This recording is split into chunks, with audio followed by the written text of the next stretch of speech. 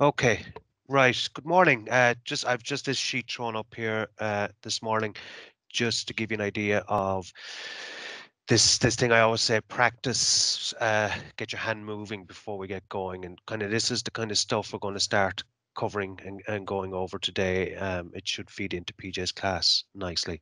So um, just throw that to the side and we get started into this. Um, so today what we're going to look at in regards sketching is why do we sketch? Okay, so the main reason, or there's there's four uh, there's four reasons why we we sketch. One is to understand. One is to explore. You solve with sketching, and probably the most important one then is you communicate. So all four of those are extremely important um, to do with design sketching. The other thing that we we try and get is uh, speed and accuracy. Okay, so these are all signs of a really good designer, especially if, if you can get this speed and accuracy going. Now, today, what we're going to be looking at is this accuracy and understanding. The rest will follow on from it. Okay, so what I'm going to do first, which is just as quick reminder from last week. And again, don't be afraid to sketch along with me. Um, you've got your, your X plane, your Y plane and your Z plane. Now, the reason I'm showing you this today is that this is the point of your sketching education where you can go down one of two routes. That is one where you're actually sketching in a meaningful way or two that you end up drawing pictures. And I'll explain what I mean by that. A lot of people, because we start perspective doing doing the cubes and you, you kind of doing a cube in, in two or three point perspective mean that this is the start point for every sketch they do. So if they're doing a wheel, they'll use your the, the cube to do it. Now that's that's that's doable. Okay, but the problem with it is that it can get confusing and it's the ultimate way of going wrong with regards ellipses as well. What we're going to be doing today is getting away from this thing of subtractive sketching. And what I mean by that is subtract a subtractive sketching is where you start off with a big cube and go, my shape is in there somewhere. And I start hacking off corners and I start kind of going, oh, there's a big curve here and, and so on. Or there might be a dome there. And all of a sudden you're trying to make up this, this shape in it. And it's difficult to do. What we're looking to do is an additive form of sketching. And that's where you start with maybe a line or uh, a face. And what they're known as are planes and center lines. And that's really, really important because that's what we're going to be covering today are planes and center lines. Now, just as a measure of what how they're donate uh, um, how they're written down. A center line is always written as a dot. Okay, and a plane is usually a dashed line. Just to kind of differentiate it from your drawing. Now, let's see where we go from there. Okay, this ties into your model making uh, work uh, class and, and stuff that you're going to be doing tomorrow. So when we draw in three point perspective, we need to understand a shape. So we're going to start off with a basic mouse and we're going to look at orthographic views. So for example,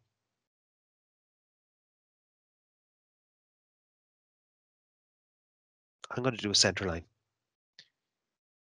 I'm going to do an end, and I'm going to do another end here. Now, if you're drawing this, this I'm drawing a little bit bigger than probably what I should be. Um,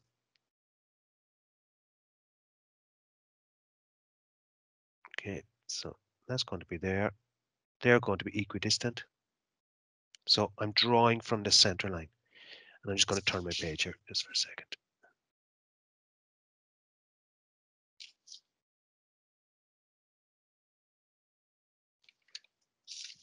Okay, so what we're, we're coming up with now is our computer mouse.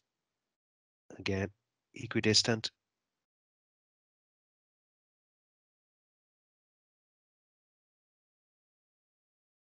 Now, let's say that's the base of uh, our computer mouse that we're looking straight down on it. And I'm not going to get into drawing buttons and stuff here today. This is just about the basic form generation. Now, with any uh, orthographic view, you need the two other or three or five other views to go with this, depending on your product of whether it's symmetrical or, or asymmetrical. So from this, I'm going to draw uh, a line across and I can project all these measurements up. Okay, so this is a kind of a little bit of technical drawing going on here. Now, I've just all I'm doing is bringing up my key lines. Now, what's really, really important with this is you've already started drawing with a center line here. Now you have a baseline, but this is a key line here on this plane. So again, what height does it come to? Where does it go to? So I'm going to just draw another line across here and I'll give you an idea why in a second. So that goes up.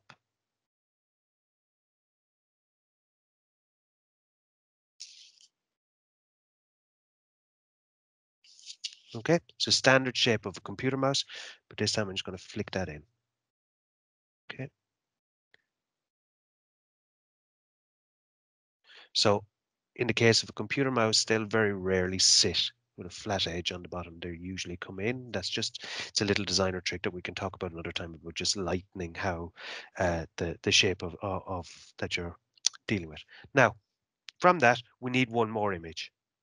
How do we get that? Those of you that have done your your technical drawing before, I'm going to just draw another construction line in here, and I'm going to bring my measurements across again, starting with your center point and bringing that up at roughly 45 degrees your top line and your bottom line. And you're going to bring those up at roughly 45 degrees as well. Okay, so now what you have is the width of your product. Now we can bring that across. We have a center point. So we know that's the highest point of our shape. So now what we can do is bring this one across. So if we're looking straight in at it, into here. Now, what we're going to do here is draw the back of it. So it's it's uh, uh, from this point down to here.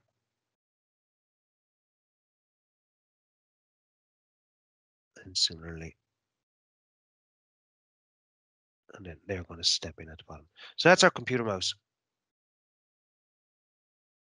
Now, I've just done this in um, uh, a one point or first angle projection, but we'll, we'll, we'll come to first and third angle projection later on. But just for the sake of today, um, we're just going to do this uh, to help us understand it. Now, when we look at this shape, right, that one's a little bit out there.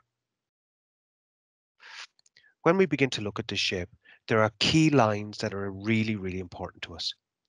And are these ones there's this one. There's this one that relates back down. There's our center line going across here. There's this one going across here. There's also this one. So there's lots of different lines that are going to help us draw the shape. Now,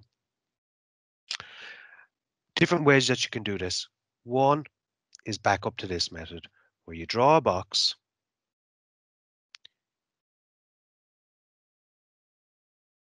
And you can try and put it in your perspective and draw the back lines.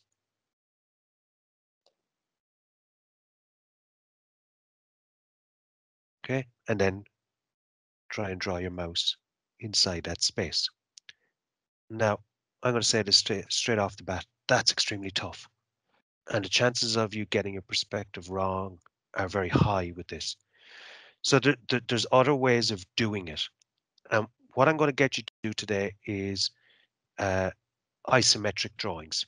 So it's slightly different. It's not a perspective drawing in that it, it's not, there's no vanishing points. Um, what we use is a 60-30 angle split and the measurements all remain parallel then afterwards. So if you draw in a point down, sorry, that could be straighter. And we're going to go with a 60 30 where we're actually looking in at uh, the face of, of the product more so.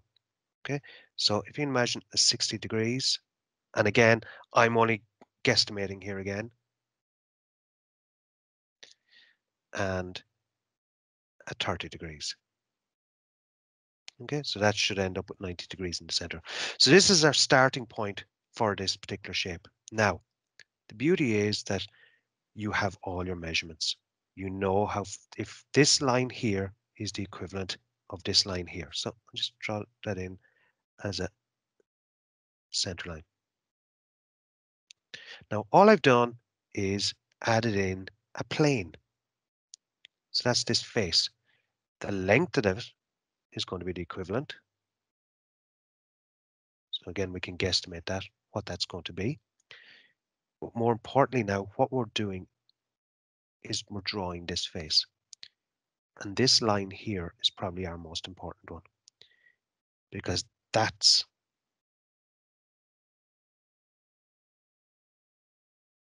one point here, one point here, and about halfway back, or, or beyond halfway back, you have that point. So now I know that my mouse is going to go from there to there, into here, into here, and back up around. So let's draw that out. So draw face up, up here, back down, angled in, and angled in. So what we've done is we've drawn that face or that plane in an isometric view. Now, the beauty of this is now we can use all these other faces. So what I'm going to do is draw in um, the bottom plane, but I'm not going to draw this face. This is the this is the widest point, and the widest point is here and here. It's not on the bottom. So what we need to do is draw in that line. This this is now the plane we're drawing on.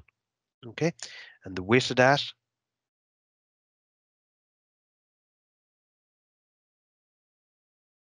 again.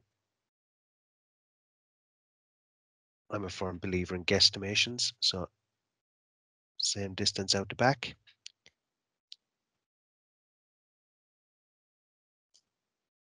Okay, so now what you've got done is, is, is like you've taken that bottom surface and just raised it up a little bit.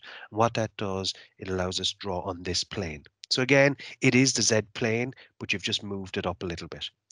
Again, what am I going to do now? This line here, where that hits there, is extremely important. That's our widest point on our product here and here. So that means from there to there, I can draw that in.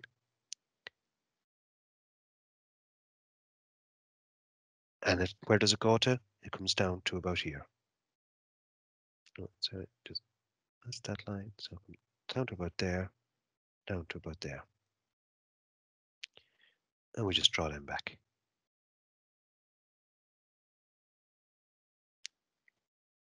Okay, so what we have here now is one plane, two planes, and now we're able to do the third one. So how do we do that? We've now got this plane in. Uh, just draw that across, and we're going to draw this face. So we know that's the widest point, that's the widest point, and we already have that point. So the more you get into these, the less you actually have to to work out. So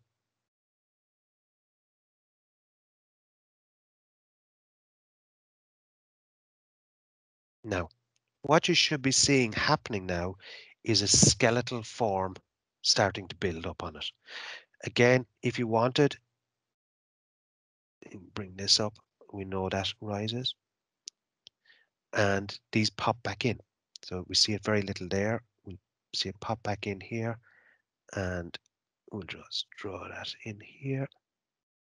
So it's just the little shadow gap starting to disappear underneath it. Now, what's lovely about these type of things is that you can now imagine just draping a cloth over this.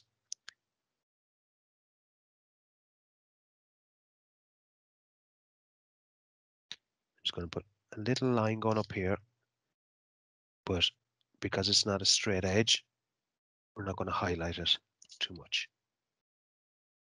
Okay, now what you've got is your uh, complex shape.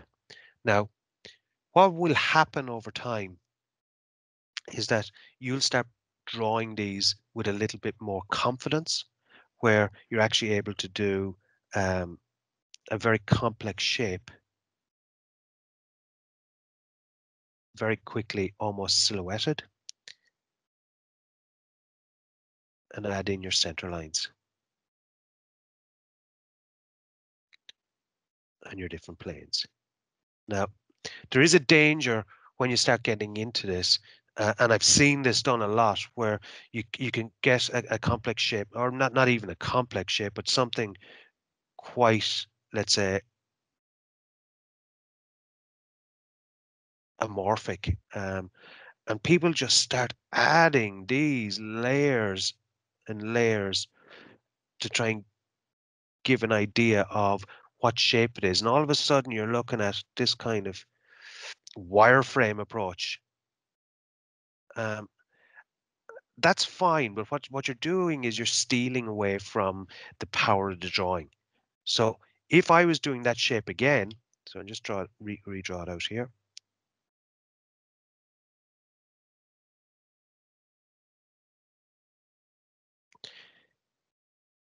I would just add in that plane, or that so that your um, your y plane, your x plane, put it in where it's relevant. So if, if it changes what's happening, then you can add it in. So let's say it gets shallower here, you can add it in. And for this time, do you need the um, um, the Z plane? Probably not. You probably get away with just putting highlight here and maybe even just doing a, a drop shadow on it, just to give an idea uh, that the product is, is sitting flat on the ground. Okay, so that gives us an idea of um, drawing with planes. Now you can twist this and move this around. What's even better about this is now based on your two point perspective that you've done, um, you can actually add this um, this technique or this approach to your two point perspective. The principles are still the same, just as long as you get your foreshortening across these um, vanishing lines, then it, it's equally as easy to do. The other thing I also want to have a chat to you about in relation to this are ellipses.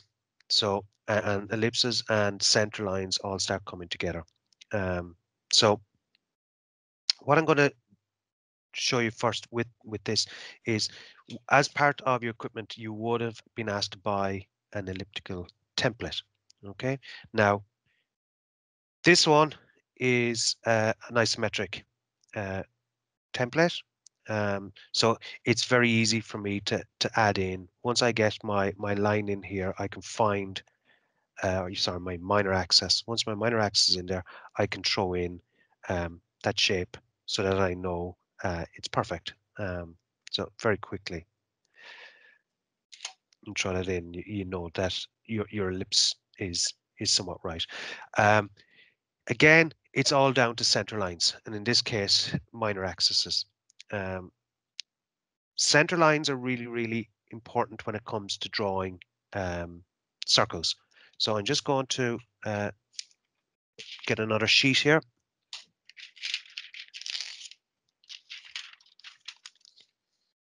Let's take that bottom one out so we're not tracing. Um, so again, very quickly, the dichotomy of an ellipse, and you you will have done this with, with PJ. Now, in a, an ellipse, you have a major and a minor axis. Okay, now, depending on what book you read, some people will say concentrate on the major axis and, and get the, the widths of it right. A lot of other people just say all you need is your um, uh, because then you can get the angle of your uh, projection. Now, what's really useful tip when you're drawing uh, ellipses is line up the minor axis with your main drawing direction. Okay, so again, just very lightly. Okay, so that you get your elliptical views.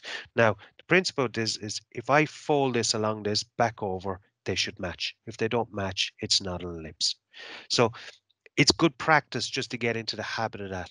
Now, same principle happens when you're working with spheres. Now, in essence, if I draw a circle, that's a sphere.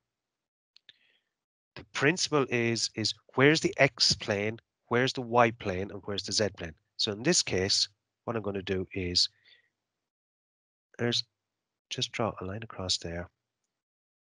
Uh,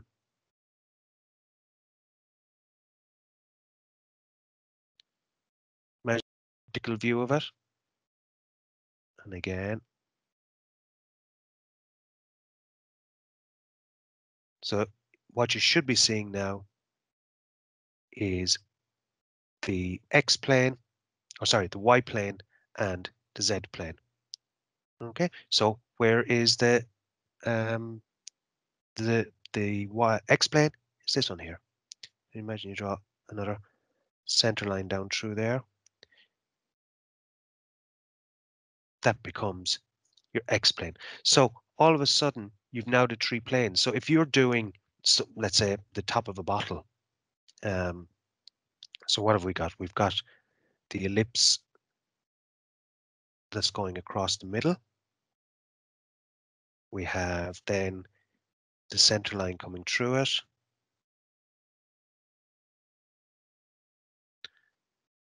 And imagine tangent down from that. You're beginning to form the bottle. Now, again, center line coming up through.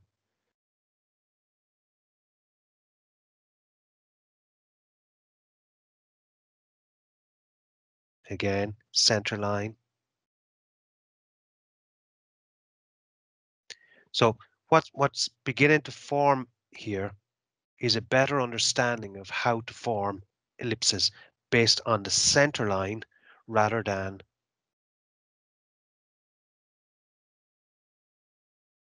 Okay, and just make sure you're not flat spotting them. Okay, again, if you wanted to do it that it had a more of a rounded bottom. Uh, another center line going across, so that minor axis, or that's a major axis.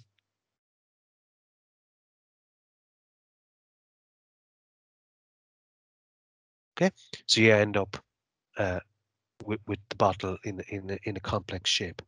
There's a couple of other ways that we can we can do this with center lines. Again, let's go back to um, computer mice.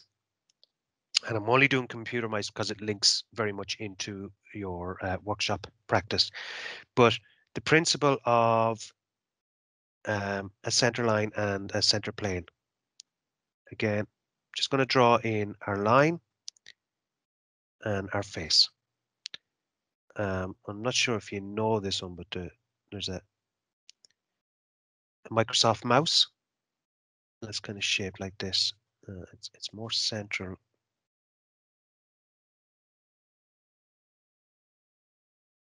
Okay. Um, now, I could end up drawing planes and play and more planes and more, but let's think what's the the best way of drawing this where you're not getting confused with the amount of lines you're drawing. Again, look at our angles. And again, if you're doing if you're doing uh, um, vanishing points, uh, you know where these are all going. All I'm draw doing is drawing equidistant lines on this. Okay, they're all parallel. Now, the principle I'm going to do one at the bottom as well here. The principle this is that I can now get the width of it, that, and that should be identical. At the back, it's much narrower. But now look, we can start following those lines.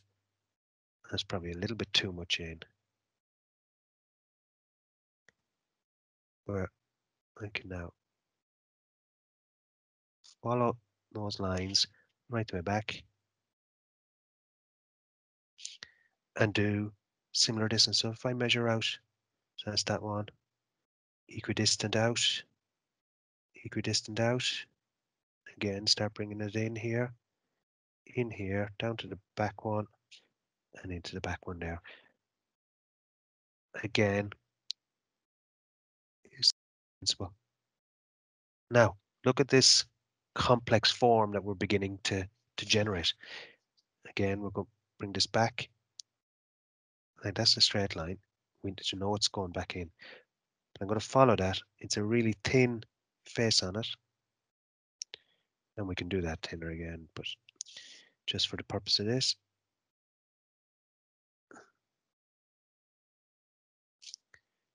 Okay, and again, just bring in this mouse. So just if you know if you know the mouse. Um, and again, that's your mouse. Again, you can start using some of the tricks you've learned in earlier classes about making this jump slightly off the page. Um, okay, so that's uh, drawing uh, complex forms. Um, I suppose from from your point of view now, it's about getting this to a point where you feel confident in generating these forms using planes and using center lines. Um, try avoid this thing that we talked about earlier about drawing inside a box, um, because what you will end up doing is not understanding the form. You'll be doing your best to make whatever shape it is you're doing fit inside this box um, so that it's it's almost like squashing it in uh, to a space. If you do that, it is rare that you'll actually begin to understand the makeup of the actual shape, knowing that that's a center line. This is another relevant center line. Um, whereas if you go about it this way, I know now by what I know from drawing this out that I can draw this in any view. I can draw from upside down because I know the principle of how it's geometrically going together. So for today, I think there's a couple of things that you can practice. Um, this will be one, and I just throw back in this sheet as well. Um, and this other one will be really, really good to practice. Again, just from a practice point of view, it's useful to start just throwing stuff down on a page. I've heard phrases like burning through pages. Why not? Just get your hand moving, get them sketching, and all of a sudden it doesn't matter if they're going over each other or they're going because later on what we'll learn is how we'll disappear these things in behind.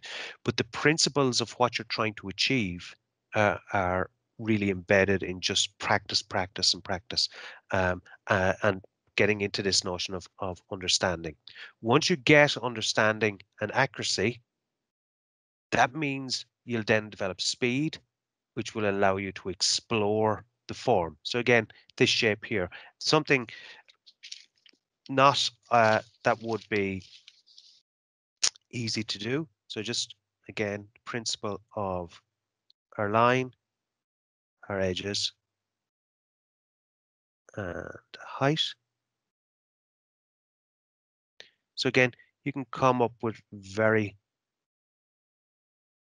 complex shapes. Again, use the principle that we've just done.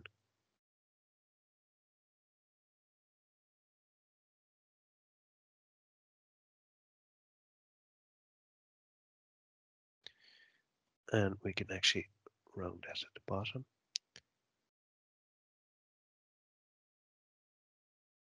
Similar to the other side. And again now through that center line.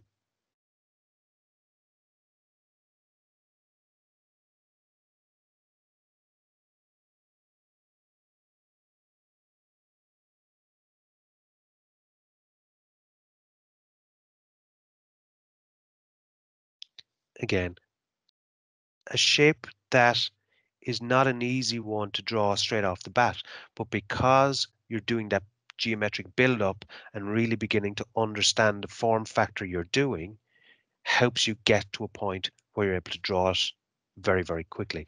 Once you have that done, the details that can be added on to this all link in with, so I don't know if there was a button here. Type. You already have the construction lines. It becomes really easy to do. Um, again, following those on allows you to play around with what's happening on it. I don't know, it could be a logo or something just going down the side. See what I mean?